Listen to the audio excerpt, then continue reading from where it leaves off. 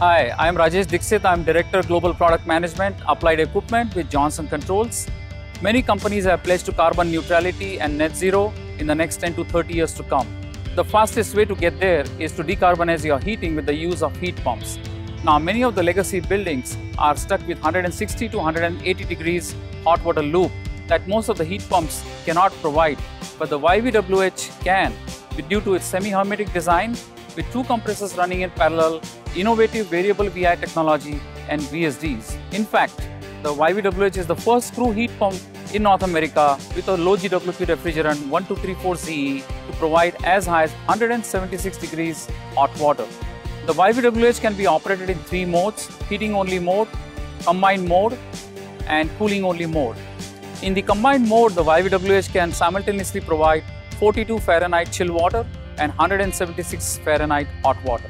In the heating only mode, it is two and a half times more efficient than a boiler and in the combined mode, it is three times more efficient than a standalone chiller and a standalone boiler.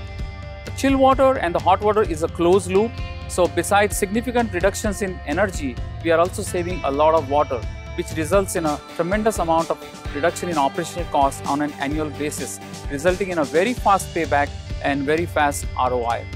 Here is a preview of the YVWH. It provides 200 tons of cooling and 4 million BTUs of heating.